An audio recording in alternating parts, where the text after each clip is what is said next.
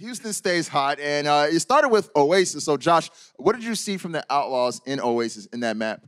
Well, I, I just want to break down a, a play which I think is going to be indicative of what we're going to see a lot from the Sombras uh, and kind of the Sombra metagame moving forwards. And it's about Danteh and how he gets his hacks. So I'll run you through it here, and it, it, it, I'll, I'll, take you through some of the uh, the major key moments that were in place. Because the important thing to keep an eye on is the fact that both teams have their sound barriers available.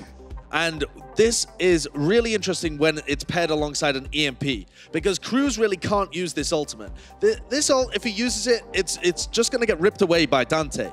But if Danteh is able to get a hack, which is what he's going to go for, he's going to try and get a hack on Kruise, then that allows Boink and the rest of the team to push with impunity. They can just push with this sound barrier and use the sound barrier as is. So it doesn't even really make that much different the difference that Gray is dead because they've chosen to make the sound.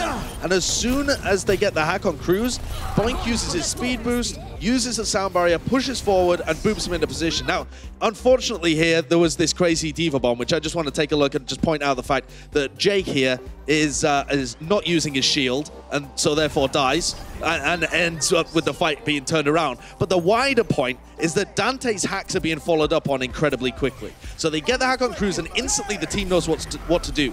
The speed boost, the sound barrier, all comes out straight away. They focus down Ben they get those kills. This is one of the reasons why Houston is so good right now. It's because they know what to do every time they get a hack. They don't have to wait for the EMPs.